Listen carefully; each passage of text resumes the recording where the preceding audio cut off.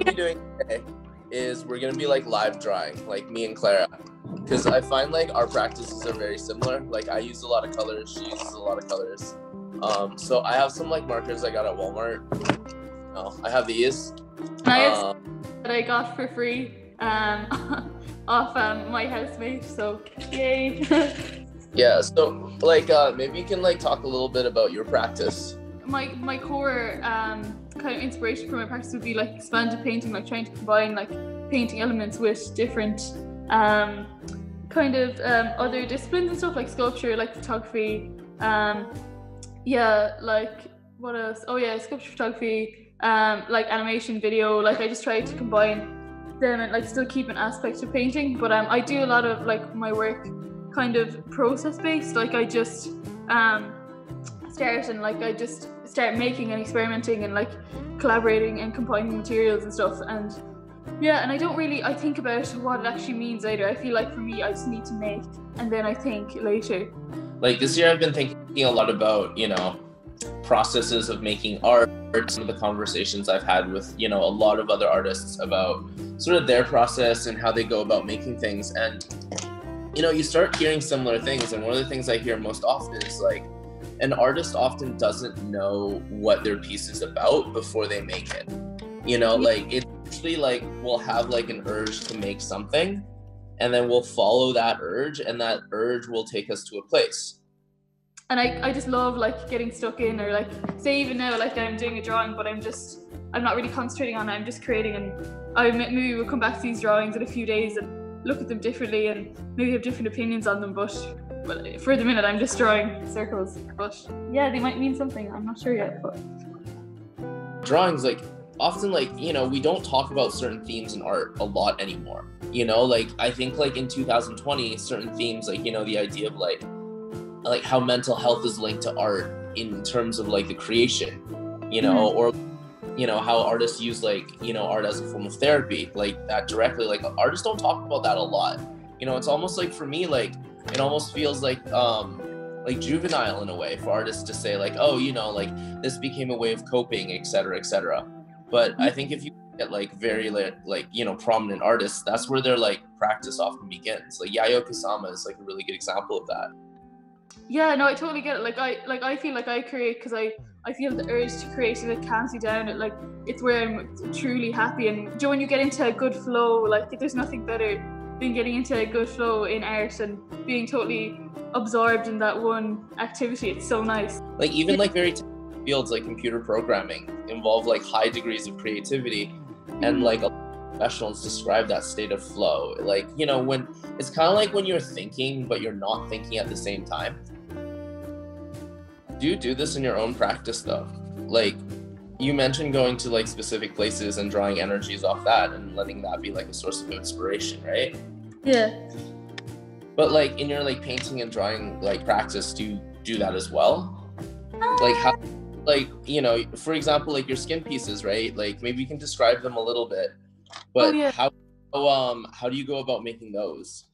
Oh yeah, they were like um, uh, it's like PVA and latex and pigment like poured on acrylic, and I peel them off, and then I place them in different like situations and photograph them. But um, yeah, like that process is very like this. Like I just be like, or like the actual physical aspect of just like mixing like large quantities of like PVA and latex together is like really soothing, and then like pouring it on and just leaving it flow, and then waiting for it to uh, set and then peel off. Like very oh it, it's very experimentational but also yeah i feel like this way of drawing is very brought back to that kind of process um but yeah ever since i graduated like my degree show work and my recent work for the last year has been very like historical and research heavy i think. Um and i just can't wait to get back into kind of creating for just to create because i feel like in art institutions or in art, art colleges you're kind of you're kind of forced to have a concept or you're forced to have this big idea. And sometimes you just don't want to you just want to create like you don't want to have this massive idea.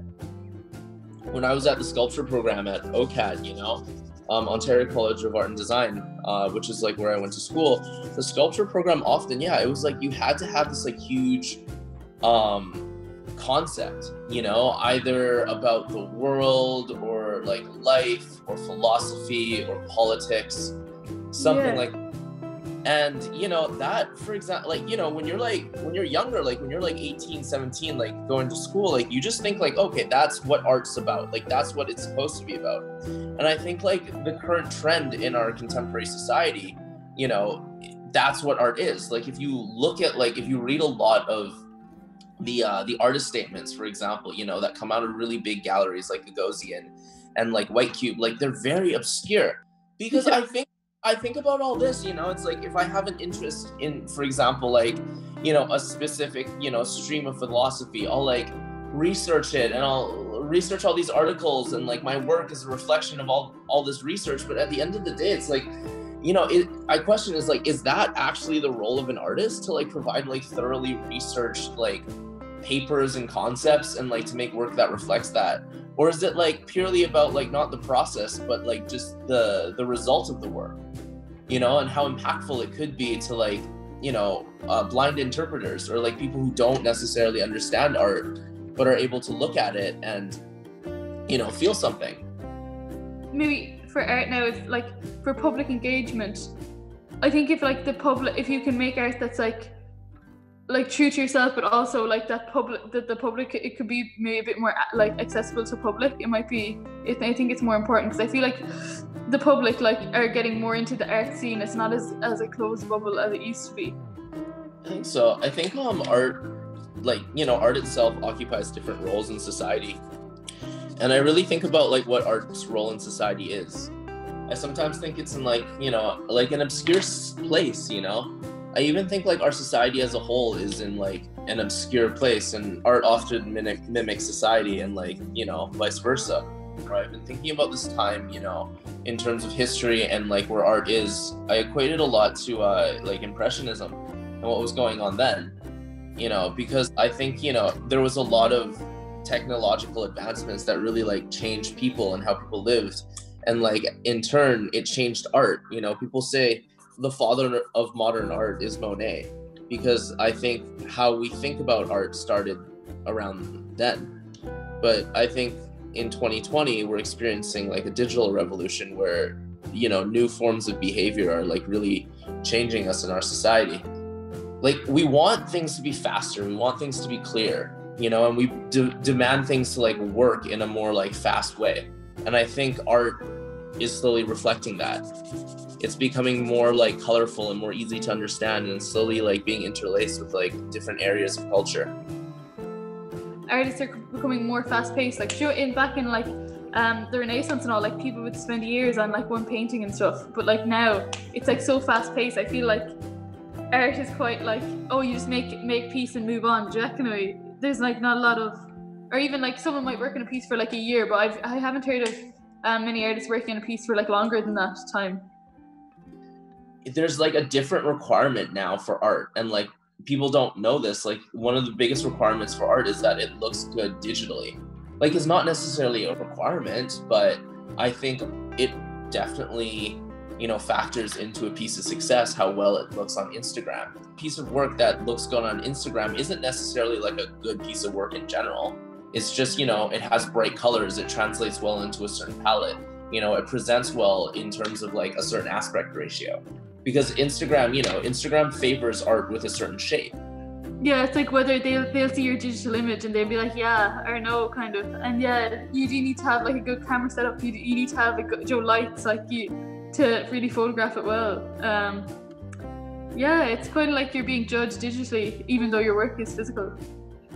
Yeah, and it, it's really cool though because like for me, I then like start thinking about what work I can create that's uniquely physical, you know, or can be both, you know, or like the experience of like it being like the digital experience of something could be like uniquely different from like the physical experience of something. I don't know what that looks like. I'm just saying I think that's a beautiful idea that I like, you know, people can run with.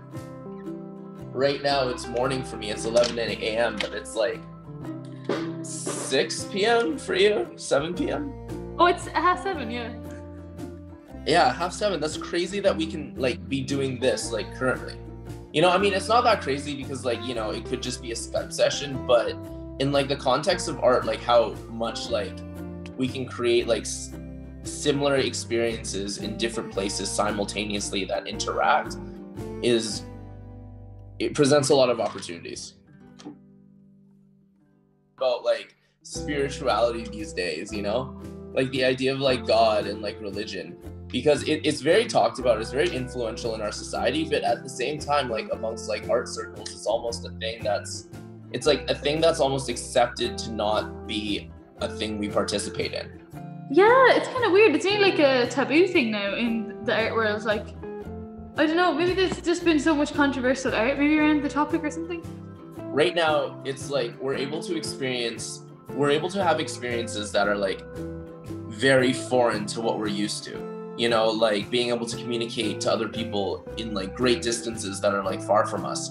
But at the same time we're like really bound by like physical things. Like covid's a very physical thing. You know be anywhere digitally like physically we're still like so affected by this thing. Yeah, we- we're very like stuck. Yeah, like yeah, we're in like another lockdown here in Ireland, and um, yeah, it's yeah, it's even for um like myself, like yeah, my even my own art practice and stuff. Like you, yeah, it's hard to keep creating when you know you you kind of I think you turn you either like in a pandemic you either like prosper and you do loads of stuff, or like you kind of like take a step back. And yeah, sometimes it's hard to you know keep going and stuff. yeah i think going back to religion and stuff it's like a lot of things are overlooked and um i don't know for me I, I think for my practice i think about how spirituality can like almost be a part of art again.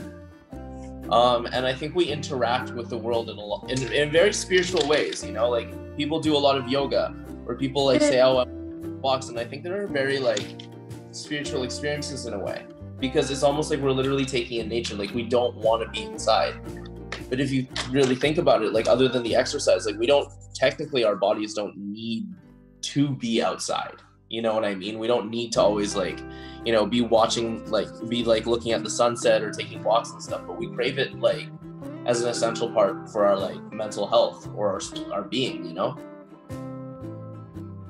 for me i think definitely there's a certain mysticism around art and I don't know what art's purpose in society really is if I think about it. You know, I mean, I theories, I think it could be like an affirmation of the human soul, for example, you know, like a reminder that we're still people, etc cetera, et cetera. But I could be completely wrong. Yeah, like is art used for like um, entertainment? I do feel a lot of art now is more about like the, like, uh, like yeah, like the public engagement, like for like Instagram or like it's very like interactive art and stuff. It's very popular, like Joe installation and stuff, like things that people can kind of interact with. I feel it's quite popular. I do think I do feel like VR, like it is quite big, but I think it's become really big. I think if once if once VR kind of cracks the the code and allowing Joe like multiple people into like a VR or like Mhm. Joe VR headsets or like I think it, art would become very digital. But what do you, what do you think? I think it depends on how closely we can mimic the relationship between like our bodies and like our physical surroundings for art to truly be like digital or not. I think yeah, because like one thing we can never escape is our bodies, and like you know we're, we're like our perception of the world is ultimately you know framed within you know our five senses, and art's very visual, but people don't. I think people don't consider how like um like haptic art is you know like how it like people don't necessarily touch art but people feel art with their bodies in relation to how big art is it's kind of like i feel like you know with a public sculpture it's bigger than you you know so like you feel like you know it's almost like greater than you you can't possess it but with like smaller pieces of like you know work like smaller paintings you feel you, you have a different relationship to it because like of the size Yeah, no, no, I totally get you. I suppose it's a bit like say like um you know, like say going to the cinema versus just like watching a movie at home. Like Joe, the actual physical thing of going to the cinema and getting your popcorn and going in and you know the smell and like the big screen and like that's like such an experience. A bit like say going to a gallery and seeing a piece is like yeah, totally different. like with art, I think it has the potential to almost sway away from intellect and move into a place more based on like feeling and more based on like meditation and understanding of the world on more of a visceral level and less of like a logical facts based level. Um, which don't get me wrong, like all those things are, I think, very critical to society. But in terms of art and its place within society and like the different places it can go, um, I think that would be a very interesting place for it to go. And I think it's very relevant for like the state of society now, which, you know, slowly is moving towards almost like the authentic, almost nature. You know, it, it comes from like, yeah, what you were talking about with analog photography, for example.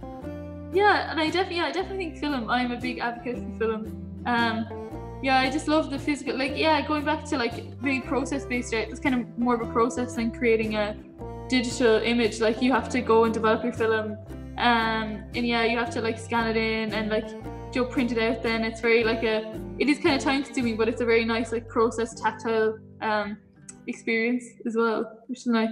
You know, in evolution, how there's like one animal and then the other animal, and in between, there's like these in between animals that scientists don't really show. It's like, yeah. I wonder like where we are in that chain of like artistic evolution. What, where would you find your source of inspiration? What do you? I don't know. Like, I think I'm at a point with my work where I understand it as like a thing that comes from nature. And I think that mm-hmm. Like you know i want to like connect people closer with like their understanding of their true self you know and understanding that we all sort of share that's based on just being a human being and how we intake the world. Um yeah i kind of understand like like i always get inspiration from i always take photos first of a like a surrounding place or a space or yeah of, of like an object and then i kind of go from there but it's always photos. I always start with photos definitely I think like broadly, I, like the theme of like meditation. You know what I mean? Like the theme of like drawing inspiration from like a a mental place of stillness. I think whatever your technique, I think that's relevant, and I think that's interesting because that's the thing that hasn't changed with artists. Yeah, it's even like I don't know, maybe it's just me, but even paintings I've done last year, they just don't feel recent anymore. Yeah, it's very fast paced. I know, I totally get that. But yeah, like some of my old work, I feel like it was created ages ago, but it's only been like a year or two. Yeah. No, I definitely think I'd like to slow down maybe in my process a bit as an artist and kind of take more time. Do you think that's a reflection of being an emerging artist? Or the times that we live in? Actually, yeah, maybe, yeah, because like, I feel like there's a pressure on emerging artists to like, oh, make it and like you know become established very quickly. But sometimes that just doesn't happen. That kind of way yeah i feel like there's a pressure on us to like oh create loads and loads of work. But maybe like taking your time and like really concentrating on one kind of work or like one idea you know? Is better. Yeah. Yeah. I guess so. I think so.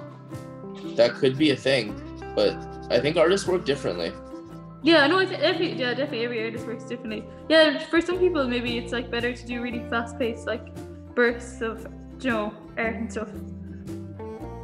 Um, because I was talking to my mom about like what I do and like my process of making art, and she's like, "This just sounds like playing." I'm like, "Yeah, kinda." yeah. And, I don't know, like. That's so nice. Because like we're so like an artist is so impractical as a human being, um, that I think like that's why we want to find such big concepts. Because it's like we're like oh well crap like we're not make like this doesn't like feed people necessarily. But we're like okay well then it becomes like a vehicle for the mind you know? Yeah. No I, I definitely feel I like the way you said your mom it's like playing. I I feel like yeah like so much like experimentation is so fun and like but then again there's just some days where you, you like you don't really feel like it or you know, like lack of inspiration is such a thing. Do you like say, oh yeah, like do like say being in limbo or do you know, like when you don't feel like creating or when you have a block, it's so hard sometimes to get past that.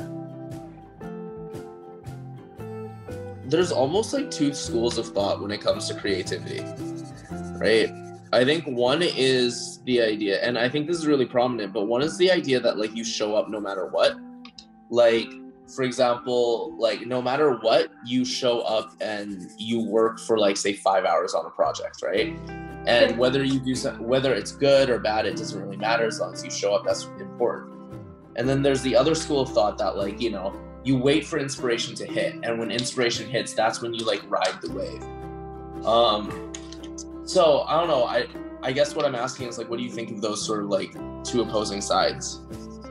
Yeah, yeah. I, I would be more of the first, like the first one. I think I like I sometimes like would feel so uninspired, and I'd be like, oh, I don't really want to come into studio today. Don't really know what I'm doing. Like not really liking the way this project's going. Um, but I still try to come in and I try. I could do nothing. I could just be sitting there reading a book or something, or just talking to my friends or something. Um, in studio and yeah i just yeah i and but like something then at the very end of the day could click and you're like oh and then you could feel come back in and feel way better the next day so no i do think i'd still like to be around my work for a period of time during the day even if i don't feel like it but um yeah well i feel like you know if you're sick or something like if you're not really feeling yourself like yeah maybe not but like i do feel like if you're feeling uninspired yeah, I feel like it's better just to maybe try push on and something will eventually click. But what about you? What do you what do you find?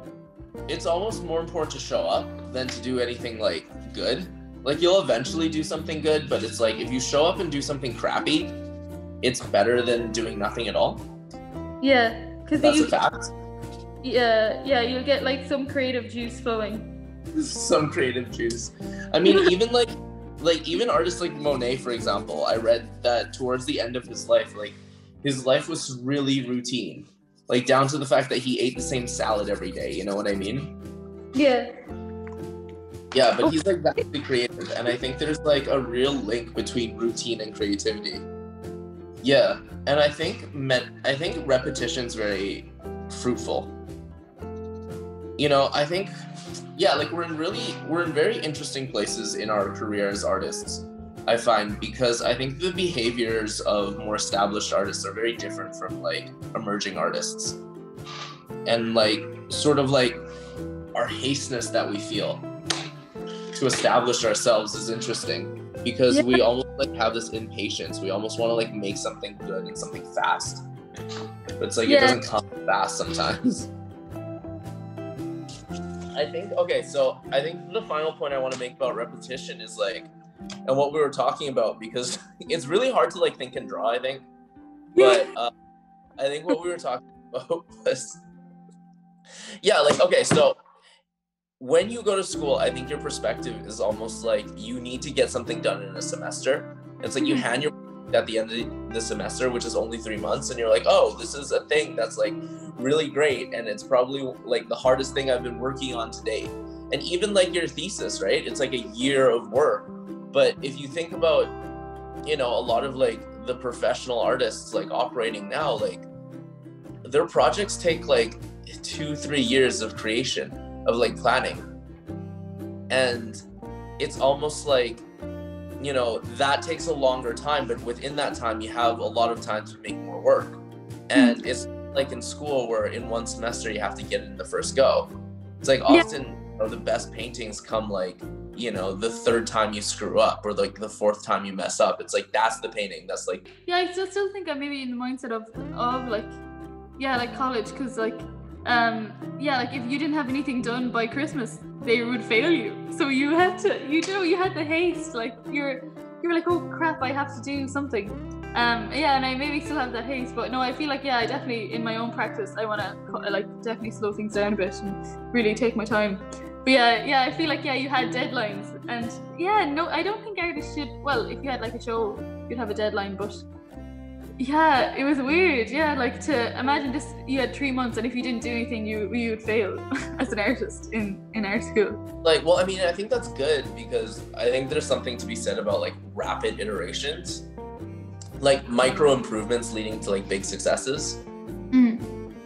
But I think it's almost like you have to accept that like you can work three months period on something and just have it completely fail. you know, not that the I'm like saying it as, as if it happened to me recently, like, oh my god, my like recent project failed, but like it's almost like you have to accept the idea.